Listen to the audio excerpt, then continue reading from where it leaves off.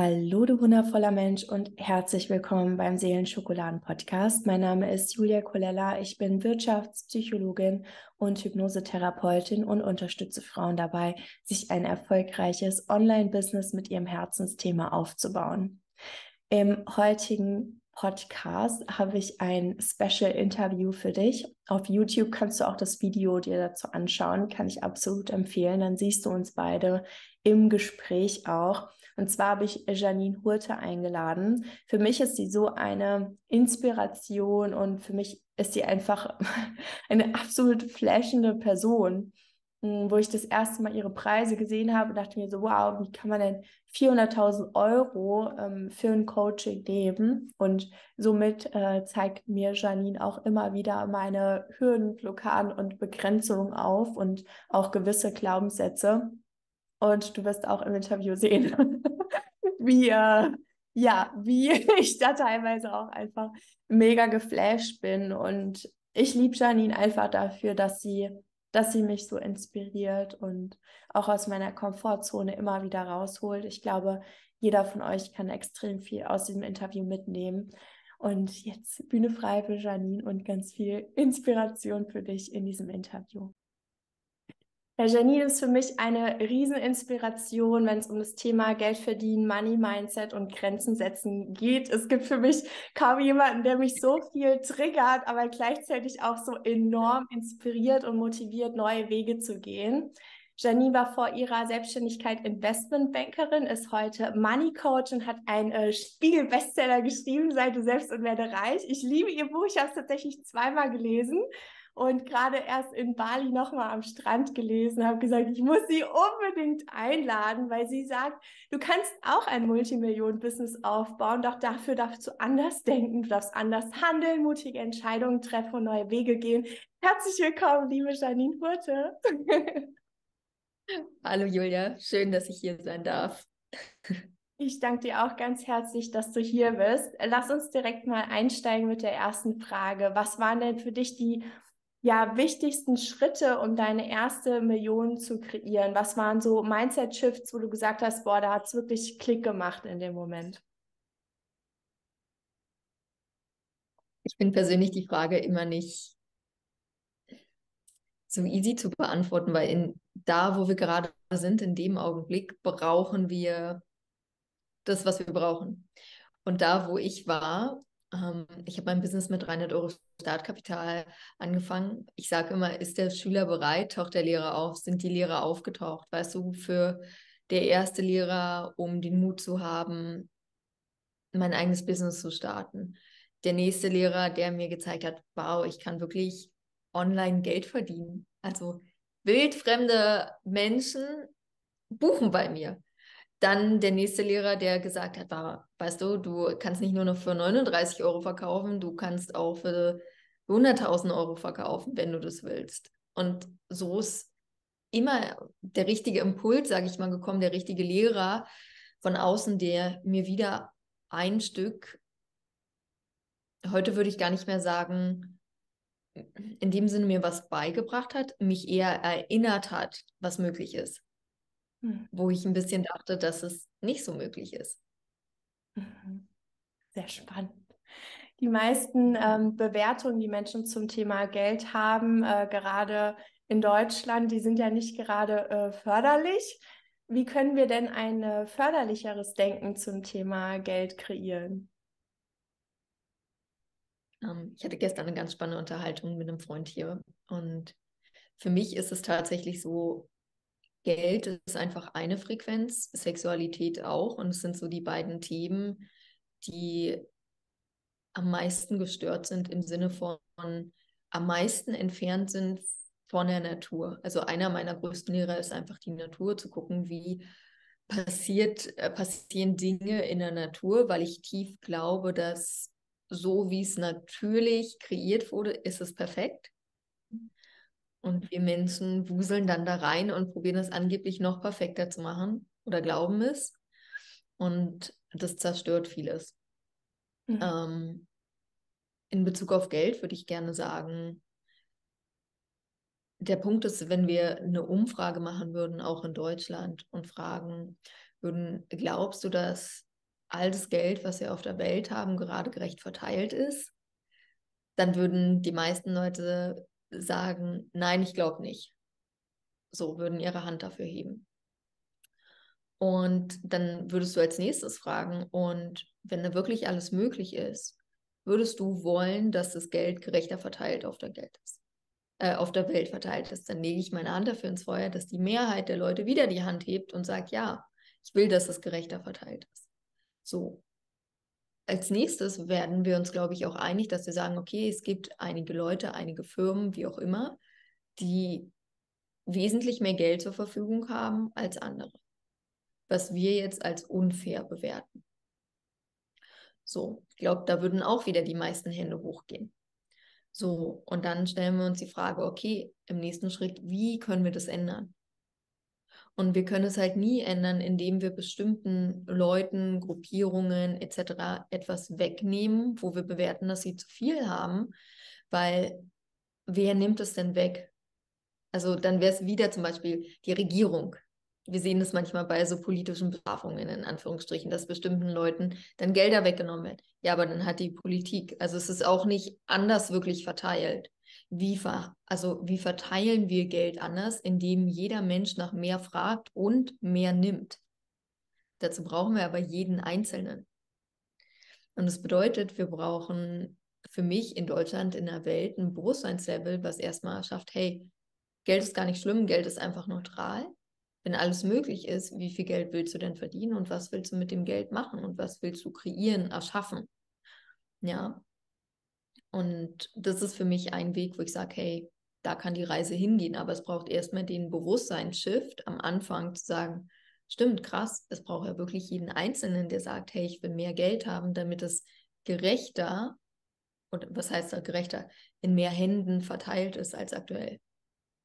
Hm von meinem Gefühl her passiert da gerade schon ein riesen Mindset-Shift, vor allem gerade bei Frauen. Gerade in äh, Bali habe ich zwei Frauen getroffen, die so im ersten Gespräch direkt gesagt haben, ja, ich liebe Geld. Und ich dachte mir, sicher, wie geil ist das denn?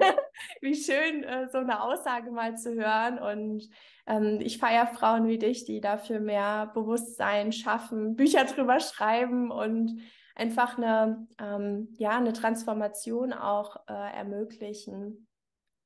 Du sprichst ganz oft ähm, in deinem Podcast und auch in deinem Buch darüber, dass wir aufpassen sollen mit ähm, Bewertungen wie das ist aber teuer oder das äh, Programm kostet viel Geld. Warum ist es so wichtig, achtsam zu sein mit solchen Bewertungen wie das ist aber teuer? Im Endeffekt bei allen Bewertungen, die ich habe, auch, also im Wort Bewertung steckt ja das Wort Wert drin. Also ich gebe etwas erstmal energetisch einem Wert. Und das bedeutet, ich kann etwas aufwerten oder abwerten. Ähm, wenn ich zum Beispiel sage, wow, das ist sehr billig oder sehr günstig oder wie auch immer, dann assoziiert es automatisch, wow, es ist möglich für mich.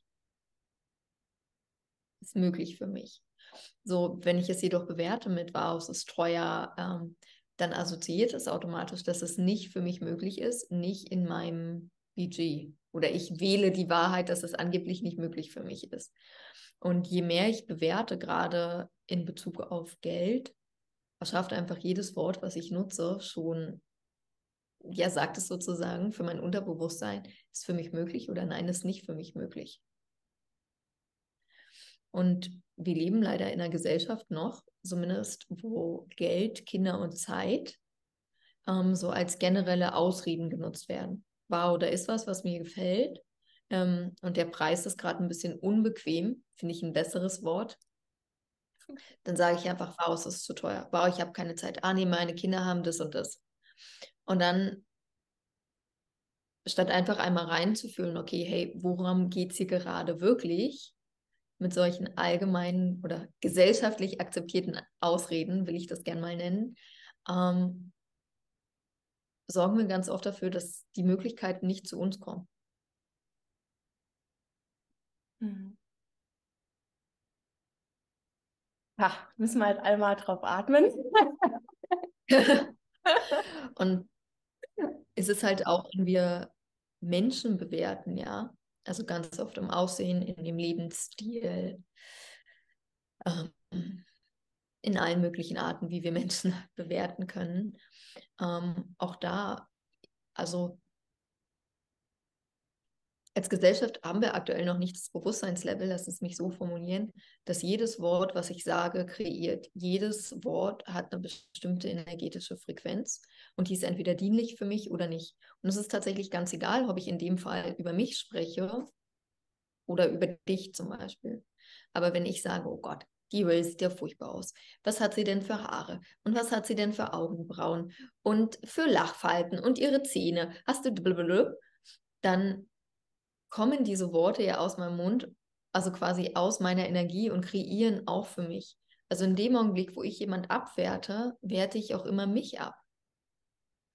Und wir sehen das zum Beispiel ganz oft ähm, bei Hate, Feedback, wie auch immer wir es nennen wollen, gerade auf Social Media, fließt immer von unten nach oben. Leute, die mehr erschaffen haben als du, die weiter auf der Reise sind oder an einem anderen Punkt, die bewerten nie ab. Warum? Weil sie wissen, dass es nicht dienlich für sie ist. Aber Leute, die noch nicht da sind, wo du so sein willst, und ich nenne das jetzt mal so, ihren Hintern irgendwie noch nicht hochkriegen, irgendwie noch in einer bestimmten Geschichte gefangen sind, so fließt Feedback. Wie kann man sich denn aus einer Geschichte befreien, in der man gerade gefangen ist? Ich glaube, also es gibt ja viele Geschichten, die wir uns erzählen. Viele Geschichten sind dienlich und viele Geschichten sind nicht so dienlich für uns. Und es geht, glaube ich, einfach mal zu gucken, allgemein im Leben, welche Resultate habe ich. Also sei es mein Kontostand, wenn ich darauf gucke, bin ich damit happy oder nicht, ähm, wo ich lebe, wie ich lebe. Ich habe heute auch nochmal was gepostet, wie viel Steuern ich zahle. Sind das Sachen, wo ich sage, hey, damit bin ich okay? Oder sage ich einfach, nee, ist mir irgendwie gerade zu viel. Was gibt es eigentlich noch für Möglichkeiten? Und ich glaube, das ist immer ein cooler Anfang, einfach mal zu gucken, okay, was habe ich gerade und inspiriert mich das? Bin ich damit happy? Ähm, freue ich mich darüber? Oder finde ich das irgendwie ein bisschen anstrengend eher alles? Wie mein Leben so ist. Und das sind dann einfach Stück für Stück übrigens. Nicht alles auf einmal. Gehe ich Lebensbereich für Lebensbereich durch und räume auf. Das ist wie ein Haus. Wir würden auch nicht sofort das ganze Haus, also manchmal machen wir das so radikal. Und es kann funktionieren. Braucht immer, sage ich mal, einen gewissen Persönlichkeitstyp, der mental stark ist. Zum Beispiel unser Haus besteht aus mehreren Zimmern und Keller. Und es ist wie wir Menschen. Ja, wir haben Thema Gesundheit, wir haben Thema Beziehungen, wir haben Thema Geld, wir haben Thema Spiritualität, wir haben Thema Beruf. So viele Lebensbereiche, die relevant sind in unserem Leben, die es in Anführungsstrichen zu meistern gilt oder darüber zu lernen. Und wir können uns halt vorstellen, ich kann jetzt halt reingehen in mein Haus und alles leer machen, alles auf Null setzen, ist halt sehr radikal. Manch einer mag das, manch einer nicht. Oder ich gehe halt Zimmer für Zimmer oder Etage für Etage, die ich aufräume. Ja, ich bin auch eher so der Etagenmensch. Tatsächlich. Vielleicht, äh, vielleicht braucht es da mal Tabula Rasa in manchen Bereichen, denke ich mir. Ja. Ja, spannend, ja. Also Etage für Etage und äh, Zimmer für Zimmer ähm, ist auch eine Möglichkeit, dauert wahrscheinlich ähm, länger als ähm, einmal abzureißen und neu aufzubauen. Hm, oder würdest du sagen, äh, geht genauso schnell? Ich glaube, weißt du, keins ist besser oder schlechter. Und jede Entwicklung vom Menschen passiert in seinem eigenen Tempo, auf seinem eigenen Weg. Deshalb würde ich nie beurteilen, was besser oder schlechter ist, länger oder kürzer dauert. Mhm. So, alles ist immer möglich an jedem Punkt. Mhm. Ich glaube, es ist wichtiger, dass Menschen reinspüren, welcher Typ sie sind. Ja, absolut. Ja. Hm, ich habe mir mal so ein paar äh, Studien angeschaut, also typisch Psychologin, dann komme ich mit meinen Studien hier an. Also, wenn wir uns die Zahlen jetzt einfach mal so ganz trocken anschauen, verdienen ja Frauen im Durchschnitt noch weniger als Männer aktuell. Und Frauen haben auch aktuell ein äh, höheres Risiko für Altersarmut. Eine große Motivation von mir, Frauen zu helfen, ihr Business aufzubauen, ist das tatsächlich ähm, zu verändern und dass äh, Liebesbeziehungen aus Liebe entstehen und nicht aus ähm, Abhängigkeiten heraus. Das Kuriose ist allerdings in den Bereichen, wo Frauen selbstständig agieren können, tun sie es trotzdem häufig nicht. Zum Beispiel eine Studie von 2019 zeigt, dass ein Drittel der befragten Frauen ihr Finanzwissen geringer einschätzt, als es tatsächlich ist. Also so ein typisches Tiefstapeln. Und die Zügel über ihr Vermögen geben Frauen freiwillig Männern in die Hände. Wie können Frauen selbstbewusster sein mit Geld? Um, zwei Punkte würde ich gerne sagen. Also erstens auch, wir sehen ja auch ganz oft im Fernsehen so Studien. Wir haben Leute befragt und so weiter. Ich bin mittlerweile ehrlich gesagt sehr kritisch, weil ich kenne zum Beispiel niemanden von all meinen Freunden und ich habe viele, viele Jahre in Berlin gewohnt, wo ja Umfragen angeblich die ganze Zeit stattfinden, der jemals befragt worden ist. Also ich frage mich immer, wo kommen erstmal diese Befragungen her? Wer sind die Leute, die befragt worden sind? Ähm, dass ich, also das ist jetzt einfach ich persönlich, sowas ein bisschen kritisch gegenüber stehe. Ähm, und ich glaube, die zweite Frage, also ich würde es gar nicht auf Männer äh, und Frauen unbedingt beziehen oder dass Frauen die Zügel über ihre Finanzen Männern in die Hand geben, sondern eher ein Phänomen in Deutschland, auch Altersarmut allgemein. Ähm, die Deutschen lieben es, ihre Verantwortung für ihr Leben abzugeben. Der Staat soll das machen, von klein auf. Also ein Kindergarten ist geregelt. Wer macht es? Meistens nicht die Leute selbst, sondern der Staat. Oder so ist es Grundbewusstsein. Ja, ja, der Staat kümmert sich schon. Sozialsystem, ja, ja, der Staat kümmert sich schon. Rentensystem, ja, ja, der Staat kümmert sich schon. So, also wir werden in einem System geboren, Schule, ja, ja, der Staat kümmert sich schon um den Lehrplan, um die Lehrer. Wir werden in einem System groß geworden, wo sich immer der andere drum kümmert. Das ist unser Normalzustand. So, und was passiert, was unser System, unser Unterbewusstsein, unser Körper kennt? Es werden immer wieder die gleichen Hormone ausgestoßen im Sinne, wow, hier fühle ich mich wohl. Warum kehren Leute immer wieder an ihr Zuhause zurück? Nicht unbedingt, weil es so schön ist, für einige ja, aber nicht für alle, aber weil es vertraut ist weil es vertraut ist. So, und jetzt passiert was Interessantes in Beziehungen und das ist egal. Man, also die Person, die mehr verdient, kann Mann oder Frau sein, ja, ist egal. Jetzt wird verursacht, wow, das kenne ich, da kümmert sich jemand anderes. Und deshalb gebe ich denen nach. Und ich würde halt sagen, es hat nicht so viel unbedingt in dem Fall machen es mehr Frauen, weil, weil Männer von Natur aus diese natürliche maskuline Energie haben, ähm, wo es mehr um Macht, um, um, um Geld, um Streben geht. Eine Frau ist feminine Energie. Das bedeutet nicht, dass wir als Geschlecht nicht beide Anteile haben, aber feminine Energie ist sehr kreativ, ist helfen, ist Fürsorge, ähm, künstlerisch mich auszudrücken, auch in Mode und so weiter. In unterschiedlichen Bereichen. So, die wurden aber bewertet in der Gesellschaft. Kunst ist eine, ist eine brotlose Kunst. Alles so, es hätte gar keinen Wert. Wir sehen das ja auch im Sozialsystem. Alles, was mit Helfen von anderen zu tun ist, wird unfassbar schlecht bezahlt. Machen übrigens die gleichen Leute, die die Studien verursachen. Und dann, was können wir machen? Wir könnten zum Beispiel mal Krankenschwestern, Pfleger, alles an allen Bereichen im öffentlichen Sektor, wo anderen Menschen geholfen wird, mal anfangen, das als eine wertschätzende Arbeit zu sehen. Und es startet, ist jetzt wieder leicht, auf andere zu zeigen und der Staat soll die Gehälter lohnen. Aber es fängt auch an mit den Leuten, die da arbeiten, dass sie sich wertschätzen, ihre Arbeit wertschätzen und dafür einstehen und den Wert einfordern. Mhm. Tatsächlich, ich habe mir das gerade auch gedacht. Ich habe extrem viele äh, Leute aus dem äh, Gesundheitsbereich. Ich habe auch früher als psychologische Assistenz vom Chefarzt gearbeitet und bin aus diesem System rausgegangen und habe ganz viele aus dem Gesundheitsbereich und denke mir da auch, ja, es darf erstmal damit anfangen, dass die Person sich äh, mehr wertschätzt, weil sie oft sich selber, ihre Arbeit, ihre Zeit gar nicht wertschätzen und diese Menschen so viel leisten, so viel Mehrwert kreieren, aber sich selbst vielleicht nicht so anerkennen. Ja. Hm, da, glaube ich, kommt es her. Und in Bezug zum Beispiel Altersarmut hat für mich nicht was nur mit Männern und Frauen zu tun, sondern auch wieder einfach eine Frage. Wir leben in Deutschland im System. Ich glaube, es war jetzt am Ende ähm, das Land, was die zweithöchsten Steuern weltweit hat.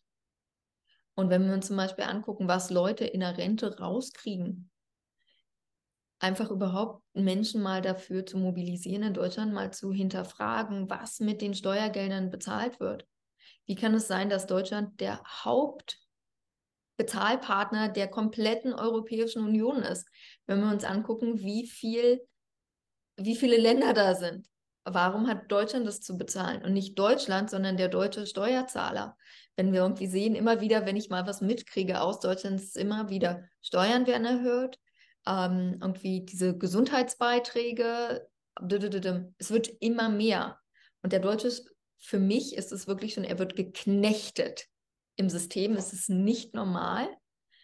Ähm, könnte ich Stunden was dazu sagen, mich auch, glaube ich, so ein bisschen in Rage regen. Und das ist auch, wo ich gern Bewusstseinslevel schaffen würde, mal zu hinterfragen, hey, ist es notwendig? Wo gehen die Gelder hin? Finde ich das gut, was mit meinem Geld passiert? Was wird da gemacht? Und wir haben das irgendwie so ein bisschen gesehen, keinerlei Aufarbeitung, wie viele Milliarden Steuergelder für Impfungen ausgegeben worden sind, die gekauft worden sind und im Klo runtergespült werden. Keine Konsequenzen. Und da geht es nicht um die Entscheidung, sondern bewusst machen, wow, das ist mein Geld, für was ich gearbeitet habe, was da genutzt wird. Wie kann mich das nicht berühren? Und mich berührt es, wenn ich anfange, eigenverantwortlich zu handeln. Also wow, mein Geld verdiene ich und ich möchte entscheiden mit dem Geld, was ich verdiene, für was ich es ausgebe und für was nicht. Und nicht, dass jemand anderes entscheidet. Und in dem Augenblick, wo ich für mich so anfange zu handeln, vielleicht für die fünf Jahre, die ich ins System eingezahlt habe, weiß nicht, ob ich ein bisschen Rente kriege. Und zwar ein so ein Buzzword in der ganzen Coaching-Branche, was oft genutzt wird und auch in Werbetexten, ist ja immer, willst du finanziell frei sein? Willst du finanzielle Freiheit? Und dann sagen alle, ja, will ich haben. Und wenn ich das Wort Finanz da rausnehme, dann ist das Wort Freiheit. Und frei bin ich, wenn ich keine Abhängigkeiten habe. Also bevor ich finanziell frei sein kann, darf ich alle Abhängigkeiten in meinem Leben lösen. Hm. Ja, das geht tief. Also wir dürfen uns dafür entscheiden, wirklich frei zu sein, uns frei machen von Abhängigkeiten, äh, Limitierungen zu Geld auflösen. Ich würde mal sagen, da verdienen wir schon äh, deutlich mehr als der Durchschnitt. Doch dann kommt man an so einen Punkt, äh, was erlaubst du dir eigentlich so? Darf ich das? Wie können wir Frauen uns erlauben, nach mehr zu fragen, mehr zu erreichen?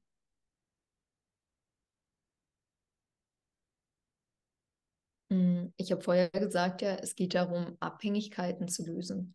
Mhm. Und in dem Augenblick, wo ich mal meine Aufmerksamkeit dahin shifte, wo ich überall Abhängigkeiten habe, ist es ja nicht nur, sage ich mal, in irgendeiner Art und Weise von einem Staat-Gesundheitsrentensystem, ähm, sondern auch zum Beispiel von bestimmten Lebensmitteln. Äh, Zucker, Kaffee, Fleisch, was es nicht alles gibt, ja. Mhm. Ähm, was nicht so, so dienlich ist.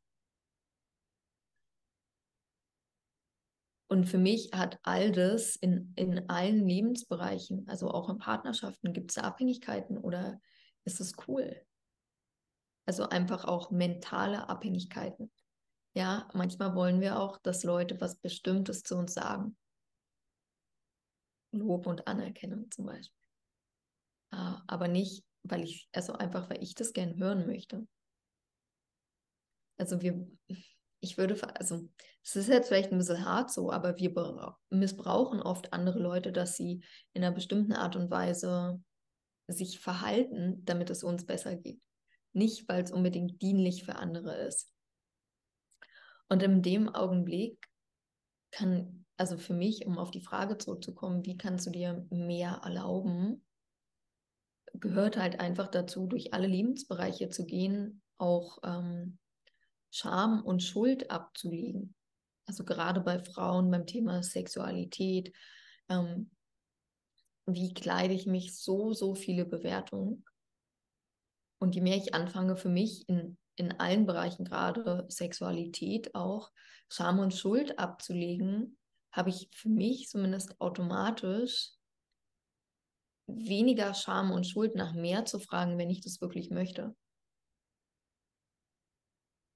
Und die Quintessenz ist, alle sagen, dass sie gerne mehr Geld haben wollen, aber tief in ihrer Essenz ist eine Ablehnung.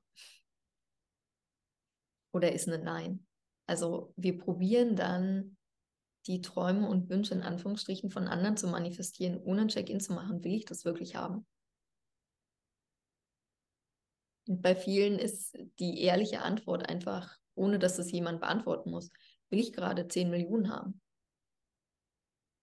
Und der logische Verstand würde sagen, ja, na klar, nimm das Geld.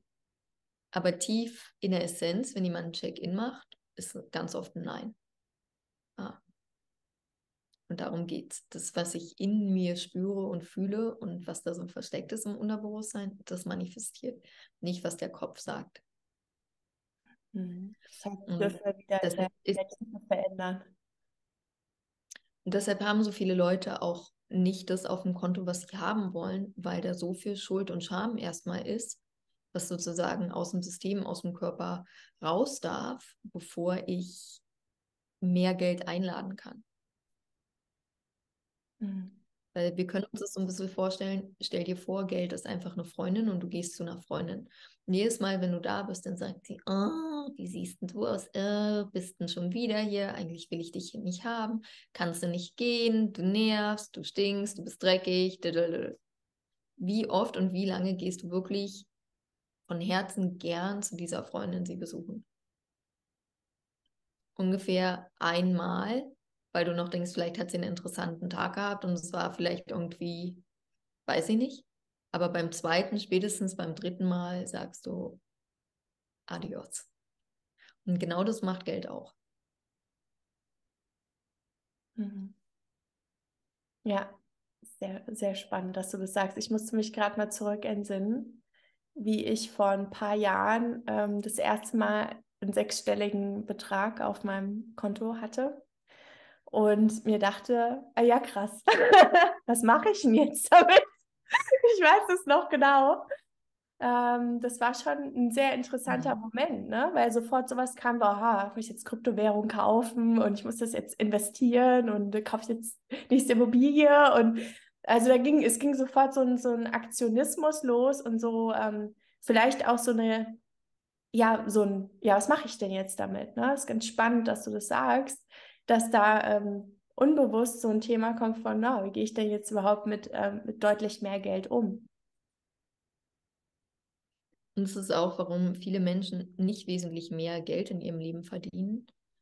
Ähm, wir sehen irgendwie ganz, ganz viel Lektüre, Wissen, Kurse etc. zum Thema investieren, egal in was, ja. Aber wie du gesagt hast, war das Geld, ich muss es investieren. Also war es das Geld, das muss weg ist automatisch verbunden bei, ich würde sagen, wahrscheinlich 99 Prozent der Menschen da draußen. Ähm, und der Prozess ist, erst verdiene ich mehr Geld, also erst wirklich Cash in the Tash, wie ich so schön sage. Der zweite Schritt, der wichtigste Schritt ist, ich habe Geld. Es ist okay, dass da einfach immer 100.000 Euro oder 200.000 oder was auch immer dein Betrag auf dem Konto ist und ich kann es angucken und es ist da und ich kann mich darüber freuen und ich gebe es nicht aus. Es ist Lernen, Geld zu haben, zu halten. Und im dritten Schritt kommt das Investieren. Weil was ansonsten passiert ist, wenn ich es nicht gewohnt bin, Geld zu haben, Geld zu halten, egal welcher Betrag, kann ich noch so viel investieren, aber alles, was kommt, sorgt dafür, dass mein Konto mehr oder weniger immer wieder auf Null zurückgeht. Weil das ist der Betrag, den ich kenne, den ich haben, den ich halten kann. Und darüber wird sehr, sehr wenig gesprochen. Und äh, für mich sind die ersten beiden Schritte, ist das Fundament von einem Haus und das dritte, das Investieren, ist das Dach. Aber ich brauche kein Dach von etwas, wenn ich kein Haus drunter habe. Hm.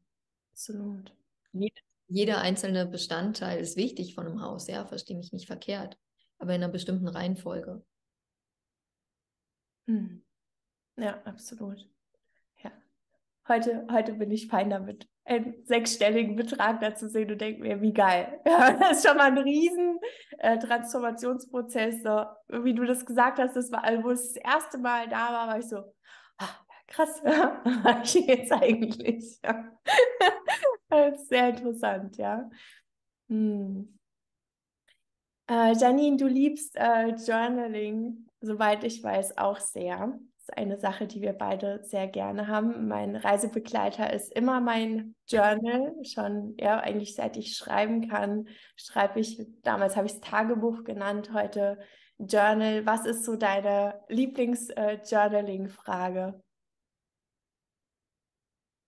habe ich ehrlich gesagt so nicht. Ich gehe wirklich mit dem Flow, wie es sich anfühlt. Also unterschiedliche Sachen. Manchmal sind es wirklich so Ziele, was ich will, was heute passiert, was dieses Jahr passiert, was in drei Monaten passiert, was im Business, in meiner Beziehung, im Leben. Ähm, für mich ist wichtiger, mich einmal so hinzusetzen am Morgen und wie so eine energetische Ausrichtung zu machen. Also zu sagen, hey, das ist der Vibe, das ist die Energie, das will ich vom Tag und das kann das Universum mir jetzt bringen. Hm. Sehr schön. Hm, welche Journaling-Frage eröffnet dir eine neue Sichtweise auf eine, ich sag mal, verfahrene Situation oder auch wenn du mal mit einer Schattenseite ähm, konfrontiert wirst? Hast du da ähm, eine Frage, die hilfreich ist, eine neue Sichtweise zu gewinnen? Kannst du ein Beispiel nennen? Ah, ja, äh, gute Frage. Also ich sag mal, wenn, ähm, wenn du zum Beispiel, du hast ein, ähm, du hast was geplant und es ist nicht so gelaufen, wie du es vorhattest, weiß ich nicht, du, ähm, du wolltest irgendwo äh, hinfahren, in eine Unterkunft gehen, die Unterkunft wird ähm, gecancelt, dann ähm, planst du die nächste Unterkunft, das klappt irgendwie auch nicht und denkst dir, ach, das läuft irgendwie nicht und dann, keine Ahnung, passiert irgendwas im Business und denkst dir, ach, was ist denn hier jetzt los? Also ich setze mich dann immer hin und, und fange dann an zu journal, was denn jetzt eigentlich gerade, was denn hier jetzt eigentlich gerade los? ähm, hast du da auch so eine spezielle Herangehensweise, da wieder ähm, rauszufinden? Also die Sache ist, am Anfang habe ich unfassbar viel gejournalt. Mittlerweile journal ich auch noch jeden Morgen, aber wirklich sehr kurz, weil ich so viel mental drehen kann. Also wenn sowas zum Beispiel zu mir passiert, ich sage mir immer, ähm, alles, alles ist für mich, everything is always working out for me in dem Augenblick. Und wirklich so meine größte Lernaufgabe in diesem Jahr, nichts mit Druck durchzusetzen, sondern mich dem Leben, den Impulsen hinzugeben. Also in dem Augenblick zum Beispiel zu sagen, cool, eine noch bessere Unterkunft wartet auf mich. Ähm, weiß nicht, wenn ich wahrscheinlich nach drei Unterkünften nichts finde, ähm, einfach auch zu fragen, okay, worum geht es gerade in der Situation, was darf ich lernen, was ist gerade wichtig und wo ist ein Schlafplatz für mich, wenn ich jetzt zum Beispiel auf der äh, on the road wäre, ja. ja. Ähm, also mehr im Leben allgemein einfach zu fragen und davon auszugehen, dass ich gar nicht alles wissen muss, sondern dass alles im Augenblick zu mir kommt. Und was ich cool finde, einfach wenn man manchmal so merkt, hey, ich bin vielleicht gerade nicht in einer coolen Energie, die kreiert, sondern irgendwie so ein bisschen von Angst, Scham und Schuld getrieben, ähm, wäre es nicht schön, wenn.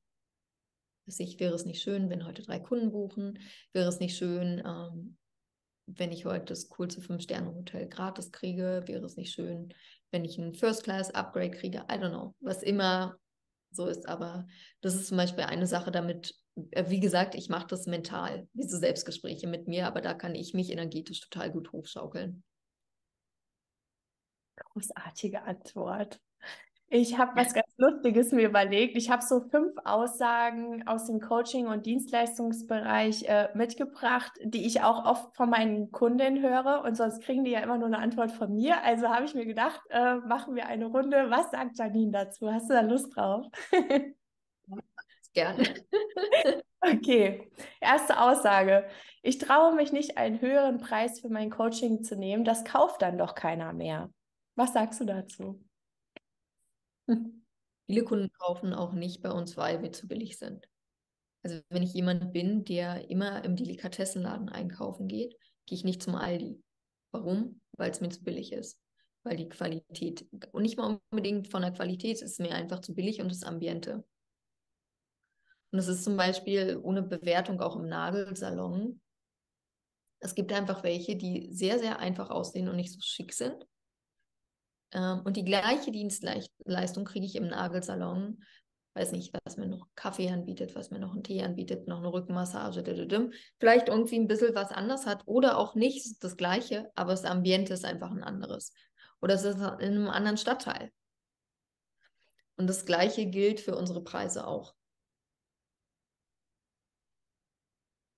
Und ich finde es gerade kritisch im, im Coaching-Bereich, weil ich ja dafür da bin, egal wo, ich helfe Leuten zu wachsen.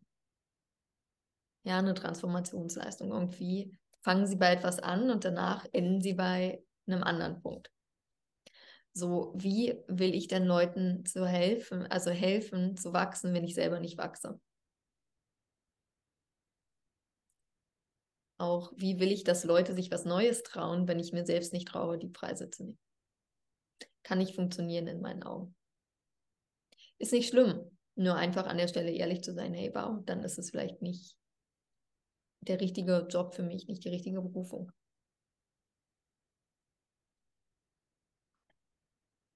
Nächste Aussage. Ich kann mir dieses Coaching-Programm nicht leisten. Was sagst du dazu? Ähm, ich habe vorher das schon so ein bisschen beantwortet. Ich finde es immer cool zu sagen, ja, der Preis ist echt unbequem für mich. Wunderbar. Wenn der Preis unbequem für dich ist, da passiert Wachstum. Passiert nicht, wenn du irgendwas kostenloses konsumierst. Passiert auch nicht, wenn du was für 39, für 59, für 100, 200, 500 und bei den meisten Leuten auch nicht für 1000, 2000, 3000 Euro. Hm. Und für mich einfach eine mentale Einstellung für welche Art von Transformation stehst du das aktuelle Live-Coaching-Programm, was ich mache, ähm, in der Gruppe startet bei 15.000 Euro. Naja, für drei Monate. Bedeutet, jede Person, die dabei ist, die ist von Anfang bis Ende dabei. Weiß ich jetzt schon. War immer so. Aber wenn es 500 Euro kostet, ist die Person nicht von Anfang bis Ende dabei. Zieht es anders durch. Und für mich einfach, das ist meine Wahrheit, äh, mein Glaubenssatz, wenn der Preis Schmerz und wesentlich außerhalb der Komfortzone ist, bin ich anwesend und präsent. Haben das damals auch gesehen, als ich in Deutschland war, wenn ich Events gemacht habe, die nie unter 1000 Euro waren für einen Tag. Wir haben 100% Anweisen, Anwesenheit gehabt, manchmal vielleicht ein, zwei Leute, die nicht da waren. Und der Veranstalter hat immer gesagt, wie machen Sie das? Man hat dann so gefragt, und wie viele Tickets haben Sie verkauft und wie viele Stühle brauchen Sie? Dann haben wir gesagt, nein, die Stühle, die wir verkauft haben, nee, nee, also 20 Prozent ist mindestens immer so No-Show-Rate. Und ich so, nee, nee, unsere Leute kommen. Und dann äh, mussten immer noch Stühle hinzugestellt werden. Das war ganz interessant. Und er so, wie machen Sie das? ja. No-Show-Rate gibt es bei uns nicht, ja. Ich feiere das auch. Ich habe ein Gruppencoaching-Programm und die sind immer alle da. Vielleicht fehlt mal eine Person, ja. Wir haben frisch gebackene Mamas dabei. Aber also ich feiere das total, weil mir macht es einfach auch viel mehr Spaß, weil die Frauen einfach auch dabei sind und man spürt, da kommt Feedback und die setzen um und äh, das motiviert mich auch als Coach einfach viel mehr. Deswegen äh, kann ich zu 100 Prozent bestätigen. Es macht mehr Freude für beide Seiten auch. Ja, ähm, ja, einen interessanten Satz, den ich letztens gehört habe. Ich habe Angst, dass ich den Investor des Coaching nicht wieder rausbekomme. Also für mich Glaubenssatz und die Frage ist ja, in welchem Zeitraum? Hm. Ganz am Anfang, als ich angefangen habe, egal welche Summen ähm, in mich zu investieren, habe ich immer gesagt, wow, das Investment vom Coaching will ich in der Coaching-Laufzeit doppelt wieder draus haben. Und es hat immer geklappt. Und ich glaube, da sind wir wieder am gleichen Punkt wie mit dem Haus und dem Aufräumen. Ich bin zum Beispiel ein Typ, ich habe Rundumschlag gemacht. Kann, also für mich ist es besser, weißt du, so einmal ein Container hin, Haus leer, alles rein und dann fange ich von vorne an. Also Stück für Stück. Der Typ bin ich nicht. Es fällt mir, ja, ist einfach nicht so meins. Ohne zu sagen, dass eins besser oder schlechter ist. Und genauso hier auch manch einer, zum Beispiel auch wenn es jetzt, weiß ich, um Ratenzahlung etc. geht, kann damit umgehen, mental Risiko einzugehen und manch einer nicht. Und das ist okay. Nichts ist besser oder schlechter. Nur wenn wir uns einfach mal die komplette Lektüre angucken im, im spirituellen Bereich, im Investmentbereich, Erfolg, Persönlichkeitsentwicklung, dann siehst du immer über die Jahrhunderte, die Leute wollen mega den krassen Erfolg haben, da sagen alle, ja, will ich haben, egal welche Vorbildfunktion. Und dann fragst du die Leute, wie sie es gemacht haben. Und es kommt immer wieder der Punkt, wo sie sagen, ich habe, ich war all in. Ich war all in, ich habe einfach investiert und bin Risiko eingegangen. Und wir dürfen uns einfach damit anfreunden, wenn ich all in bin, ist meine Einstellung, Mut wird immer belohnt vom Leben. Und es kommt immer wieder zurück, zehnfach. Und gleichzeitig zu sagen, cool, wenn ich mental das nicht aushalten kann, dann bin ich noch nicht so weit. Hm. Ähm, nächste Aussage. Ähm, ich habe schon so schlechte Erfahrungen gemacht mit äh, Coaching, sagte, schrieb mir letztens eine Frau. Nun habe ich Angst, nochmal eine schlechte ähm, Erfahrung zu machen. Ich denke mir dann immer so, hä, was denkst du denn, was ich hier anbiete? ist aber irgendwie so, weiß ich nicht, als würde man ein komisches Angebot machen. Ähm, ich weiß nicht, wie re reagierst du auf sowas, wenn da jemand wirklich einfach schon mal blöde Erfahrungen gemacht hat? Habe ich ehrlich gesagt noch nicht die Antwort erhalten. Ähm, an der Stelle wäre ich einfach mit der Erfahrung, die ich heute habe, eh vorsichtig und würde sagen, okay, dann passt es nicht. Hm. Weil wenn jemand für mich, wir haben uns also die ganze Zeit im Gespräch für mich viel darüber unterhalten, Eigenverantwortung zu übernehmen. Es ist immer der Coach, oder wenn ich ehrlich bin, mache ich mal ein Check-in und bin ich nicht den nächsten Schritt gegangen. Weil wenn ich als Coachie nicht den nächsten Schritt gehe, im Sinne, es hat nichts mit Investieren zu tun, sondern Mut, anders handle, andere Dinge mache, andere Sachen denke und auch die Erwartungshaltung habe, dass Dinge für mich funktionieren, bin ich raus. Und für mich ist einfach so viel, viele, viele Leute durfte ich lernen, passiert was Magisches und du würdest mir zustimmen. Entweder entscheide ich mich dafür, Geld zu verdienen, dann ist mein Fokus darauf, wie mein Kontostand mehr wird, mein Business mehr wird oder also auf Wachstum auf diese Seite. Oder ich entscheide mich für mein altes Leben, was vertraut ist.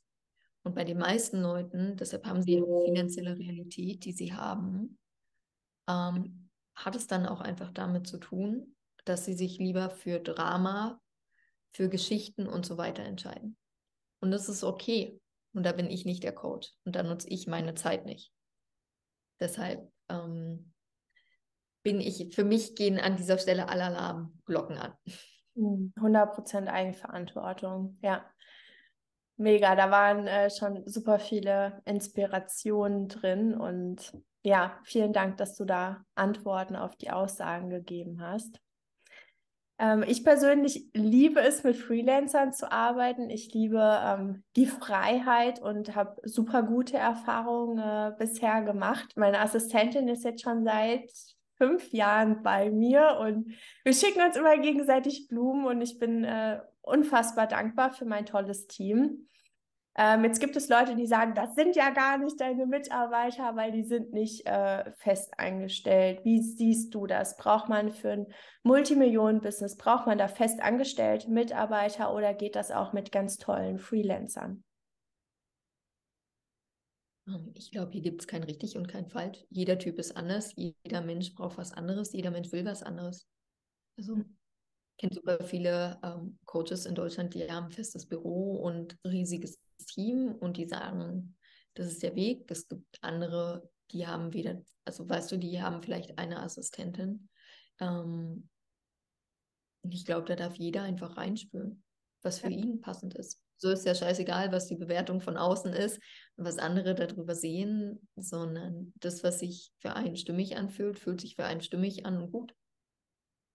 Voll für mich fühlt sich das großartig an. Ich bin ein großer Fan von Freiheit schon immer gewesen und ich liebe diese Flexibilität. Ähm, wie kreierst du denn neue Coaching-Programme und so den Namen? Bist du eher so der Typ, der das so intuitiv fließen lässt und so ein Gefühl hat von, oh, ich habe voll Lust, das zu machen, oder gehst du da eher strategisch ran?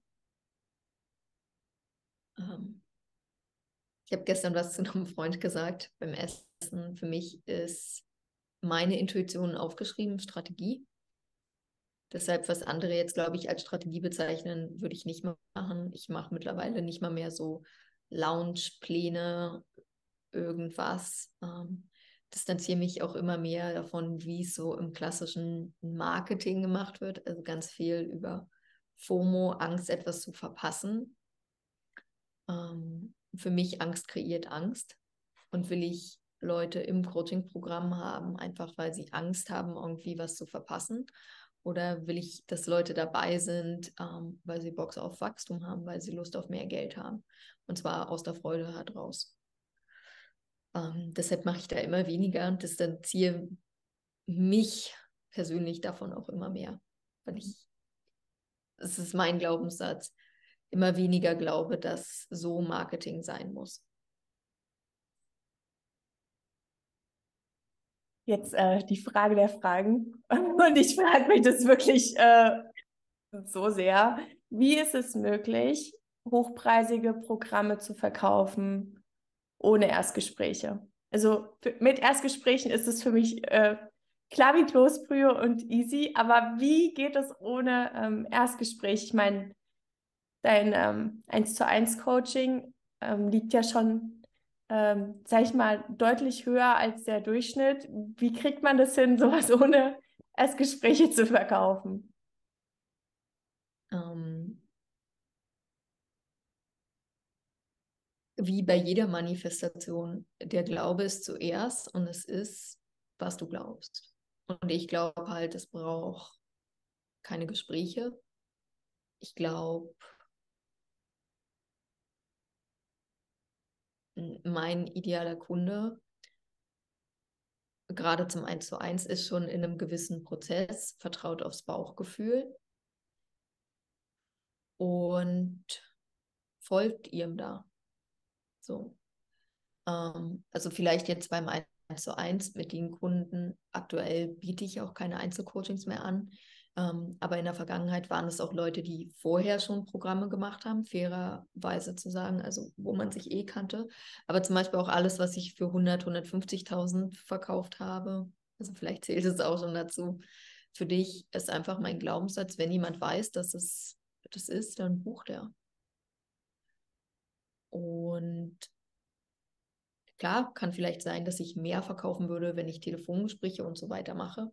Weil erstens, ich habe keine Freude daran. Ich habe auch kein Interesse, äh, wie sagt man, Verkaufsgesprächsteam zu haben, oder Closer zu haben, wie man sagt. Ähm, gleichzeitig glaube ich, da ist nichts Schlimmes dran, sondern wirklich, dass es einfach persönliche Präferenz ist. Ja, also manch einer liebt es und manch einer nicht so sehr und danach geht es. Also es ist viel mehr. Ich würde jetzt nie zum Beispiel sagen, wenn jemand telefoniert, dass es irgendwie schlecht ist oder du solltest es nicht machen. Im Gegenteil. Es ist einfach nur mein Bauchgefühl, was sagt, was sagt, hey, es ist nicht notwendig. Und hat einfach wirklich ganz viel mit meinem persönlichen Weg auch zu tun, dass ich mich immer mehr so von diesem klassischen Marketing-Weisheiten distanziere. Ähm, jemanden in irgendeiner Art und Weise zu überreden, sondern immer mehr glaube, ähm, auch ganz krass, was ich unterrichte, Eigenverantwortung. Hey, wenn ich spüre, dass das für mich ist, wenn ich spüre, ich will den nächsten Schritt gehen, okay, ist der Schüler bereit, taucht der Lehrer auf, wirklich auf Intuition zu hören, auf Impulse zu hören. Weil hier liegt einfach auch das Geld, hier liegen die Multimillionen. Die sind nicht irgendwie, äh, ich rufe nochmal an oder dies oder jenes, sondern es ist schnell, es ist impulsiv, intuitiv. Und ich darf halt lernen, Stück für Stück ähm, dahin zu hören und den Mut zu haben, zu handeln. Und also du arbeitest ja auch als Coach. Gerade eins zu eins Coachings ist einfach was, wo ich unfassbar viel Energie und Zeit von mir preisgebe. Und nicht nur der Preis unbequem ist, sondern auch, wie du da hinkommst. Und das sozusagen einfach schon meine ideale Kundin für die Art von Coaching vorqualifiziert. Ja, also manche haben wie so ein am Telefon Bewerbungsgespräch.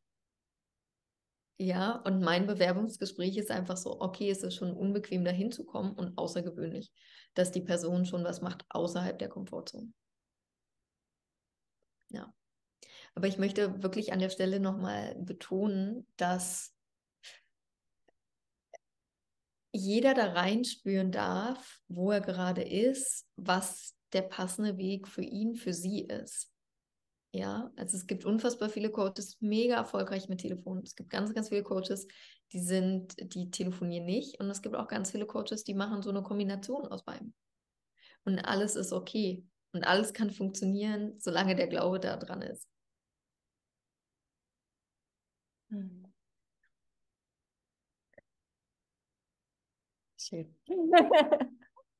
sehr, sehr inspirierend. Also einfach auch das mit dem, ja, was glaubst du? Hm. Spannend. Und das ist vielleicht auch für mich ähm, bis heute, weißt du, wir, wir haben so viel in unserem Unterbewusstsein gespeichert, was für uns klar wie Kloßbrühe ist. Mhm. Und deshalb liebe ich es immer wieder regelmäßig wirklich, ob bis heute in One-on-One-Coachings zu sein oder wirklich in Masterminds zu sein, wo vielleicht fünf Leute oder so sind. Also ein ganz enge Zusammenarbeit mit einem Coach. Warum? Ähm, weil einfach durch die Fragen, die ich an jemanden stelle, jemand von außen auch reinguckt und sagt, ah, interessanten Glaubenssatz. So siehst du das. Und für mich denke ich so, hä, ist doch klar. Aber es ist, weil ich es so oft gedacht habe, ich sehe es dann gar nicht mehr. Und das ist für mich wirklich eine Arbeit, eigene Limitierungen, Glaubenssätze aufzulösen, egal in welchem Bereich, allein zu machen, geht zum gewissen Grad. Und ab einem gewissen Level ist es wie, wenn du Champions League bist. Klar kannst du gewisserweise im Fußball selbst ein Training gestalten und eine Trainingseinheit, weil du es oft genug gemacht hast. Und wirkliches Wachstum passiert immer auf der Ebene, siehst du dann sogar bei den Spielern, die haben ein Training, also ein Trainer für die Gruppe und in der, in der Doku auf Netflix von Dirk Nowitzki, er hat immer seinen deutschen Trainer noch dabei gehabt. Er hat mit seinem Privattrainer nach dem Gruppentrainingseinheiten trainiert. Einfach, weil er auf die Feinheiten nochmal eingegangen ist. Nur von, von Dirk. Und da dürfen wir ähm, einfach auch mal hingucken und sehe ich mich selbst und mein Wachstum und mein Leben einfach so wie 0 nach 15 an oder wie ein Profisportler. Also will ich in diese Liga von Leben. dann darf ich so auch handeln. Mega. Janine, du bist äh, letztes Jahr, glaube ich, aus Deutschland ausgewandert. Ähm, welchen Einfluss hatte das auf dein Business und wie arbeitest du produktiv, während du auf Weltreise bist? Mm. Wie immer, würde ich sagen. also ich bin, bin eh ein Mensch, habe ich vorher schon gemerkt. Ähm, der unfassbar produktiv am Morgen ist und nicht am Nachmittag. Habe alles, was ich am Vormittag regeln kann, vormittags. Und was ist nochmal neu? So zum Vorschein gebracht hat, ist wirklich so Selbstdisziplin. Also für mich gerade zum Thema Sport, weil ich sonst immer ins, ins Fitnessstudio gegangen bin oder meinen Personal Trainer hatte und jetzt auf Weltreise einfach sagen muss, äh, okay, ich gehe jetzt ins Fitnessstudio, ich mache das alles alleine und das ist anders. Für mich ist es wirklich herausfordernder, als wenn ich jemanden habe und so folgen kann, um in bestimmte Routinen reinzukommen. Ja. Ich google immer da, wo ich gerade bin, wo ist das nächste äh, Yoga-Studio, weil ich ja voll der Yoga- und Breathwork-Liebhaber äh, bin und ich habe schon so viele Yoga-Studios auf der Welt gesehen. Oh mein Gott. also ich bin echt Experte dafür, überall ein Yoga-Studio zu finden. Mm, lass uns mal über das Thema ähm, Social Media sprechen. Ähm, ich habe mitbekommen, wie du in den letzten, sag ich mal, Monaten und Jahren da auch an der einen oder anderen Stelle mit ähm, gehadert hast. Mir ging es tatsächlich auch so. Du warst auch kurz davor, Instagram, äh, Facebook zu löschen, glaube ich. Ähm, wieso hast du dann gesagt, ich mache es jetzt doch nicht? ähm, für mich war es wirklich nochmal ein Gespräch mit meinem eigenen Coach zu dem Thema, was nochmal viel verändert hat in meiner Sichtweise. Und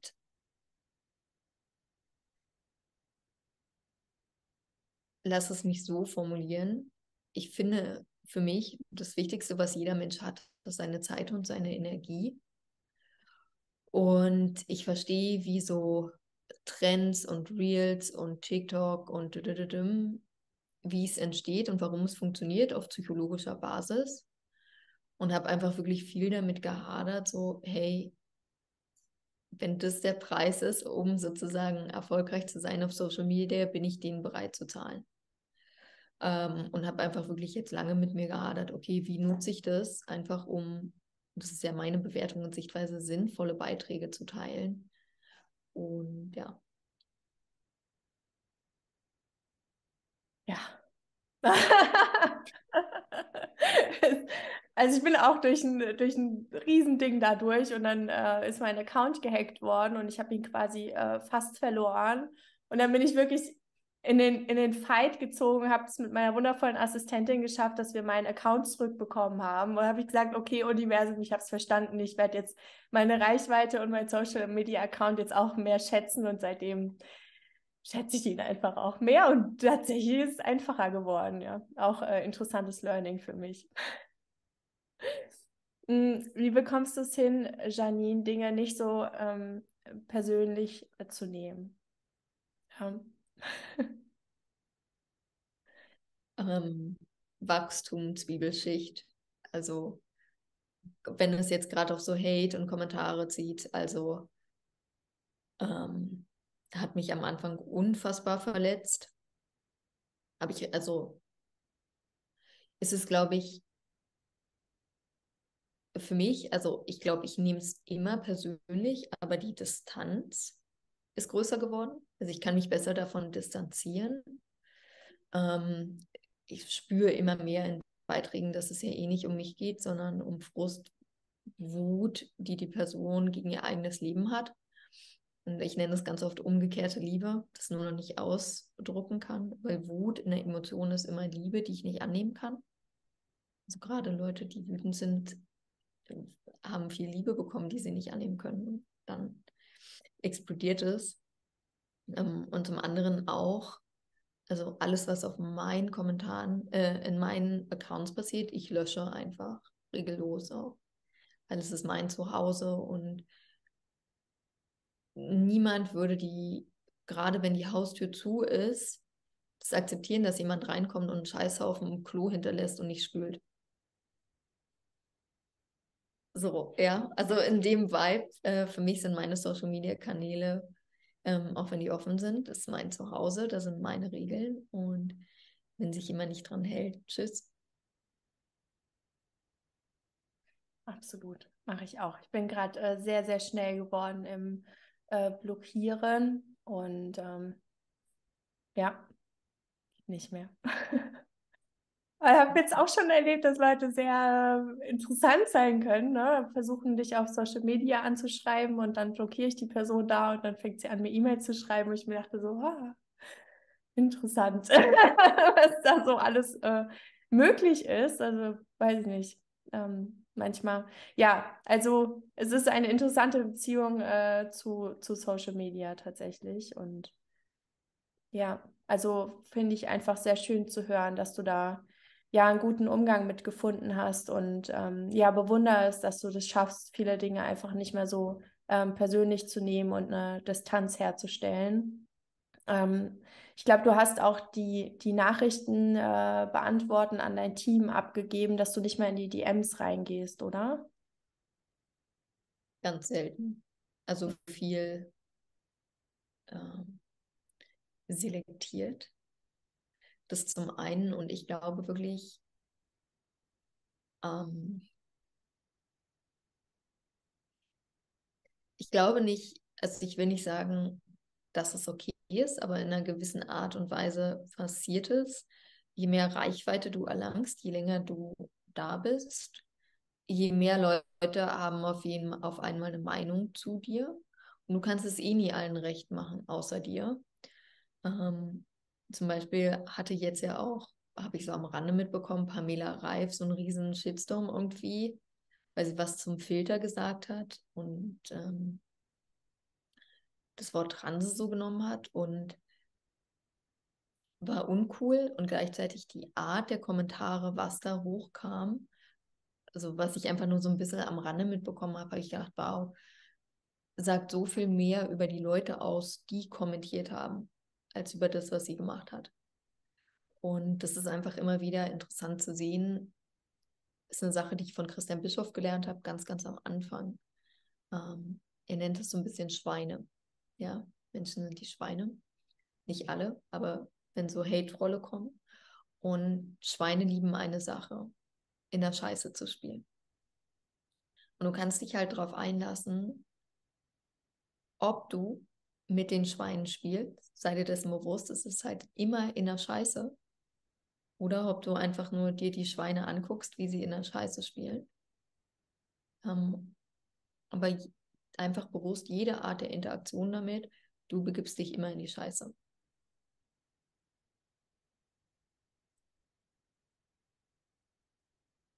Und das ist ähm, für mich auch so eine Sache, okay, hey, manchmal antworte ich einfach mit einem Herz-Emoji. Danke für deine ausführliche Meinung. Ändert nichts an meinem Lebensstil. Herz. Also es ist wirklich so ein bisschen, wie ich lustig bin, drauf habe. Also ja. Wie so gerade die äh, Stimmung ist, ja. Ich glaube, bei uns Frauen ist es ja. auch ein bisschen, es kommt so ein bisschen auf, auf den Zyklus drauf an, ja. Wenn ich da meine, meine Herbst-Winterphase habe, ich brauche sowas gar, gar nicht, ja. Ich gehe dann einfach da direkt blockiert. So, wenn ich da so mein Frühling, Sommer bin, dann kann ich da auch mal mit deutlich mehr Humor an sowas äh, rangehen. Kannst du das bei dir auch wahrnehmen, dass es so mal unterschiedlich ist innerhalb von einem Monat? Das auf jeden Fall. Und ich glaube wirklich auch, ähm,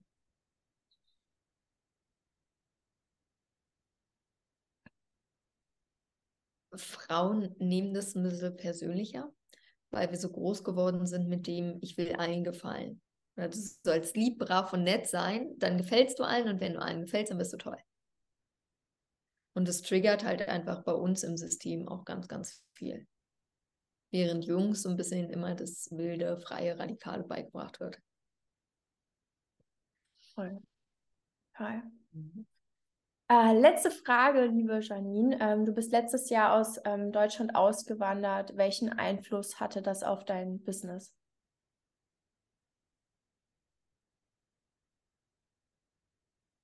Kann ich so eigentlich nicht sagen, ob es jetzt einen Einfluss auf mein Business hatte. Eher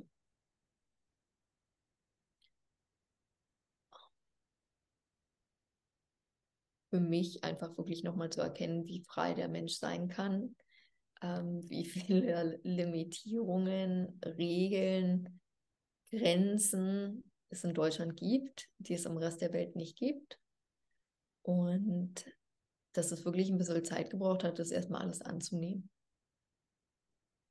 die Freiheit, ja. Wir wollen so oft dann was haben und wenn es dann da ist, ist es immer erstmal ungewohnt. Und für mich zumindest braucht es immer ein bisschen Zeit, das dann alles erstmal anzunehmen. Mhm. Kann ich sehr gut verstehen. Ich merke immer, wie ich mir dann, da wo ich gerade bin, ob das jetzt Mexiko ist oder Bali oder Thailand, ich versuche mir dann immer neue Routinen zu schaffen, da wo ich bin. Ah ja, guck mal, da laufe ich dann am Meer entlang und da gehe ich dann zum Yoga. Und sobald ich dann wieder mein, mein Self-Care-Programm aufgestellt habe, ist das schon, mich schon wieder deutlich mehr entspannt. hm. Liebe Janine, äh, wo können wir dich finden? ähm, auf Instagram, im Newsletter und auf Facebook. Prima. Kann man auf jeden Fall auch ähm, alle Links in die Show Notes. Ich danke dir von ganzem Herzen für die Zeit, die du dir genommen hast, für deine wundervolle Inspiration. Da waren so viele Gold Nuggets drin. Ich kann jedem empfehlen, nochmal auf Repeat zu gehen und sich das am besten nochmal anzuhören. Ich werde mir das Interview auf jeden Fall nochmal anhören und ich danke dir so sehr für dein Vorangehen, für alle Frauen und danke dir so sehr für dein Sein und für deine Inspiration, Janine. Danke, dass du heute dabei warst. Danke, Julia, für das tolle Interview. Sehr viel Spaß gemacht. Wenn dir dieses Interview gefallen hat, freue ich mich riesig über dein Däumchen hoch beim YouTube-Video und ich freue mich über dein Abonnement von meinem Podcast für weitere tolle Interviews und Inspirationen. Und ich freue mich riesig über deine 5-Sternchen-Bewertung auf iTunes oder Spotify. Und diese Rückmeldung ist für Content Creator wie ich einer bin, eine Riesenmotivation, diese Arbeit zu machen und euch zu motivieren und mitzunehmen und euch in den Kontakt zu bringen mit so wundervollen Personen mit Janine. Also hinterlasst eine positive Bewertung. Ich freue mich und äh, danke dir, dass du dir Zeit dafür genommen hast und wünsche dir heute einen wundervollen und inspirierenden Tag. Alles Liebe, deine Julia Colella.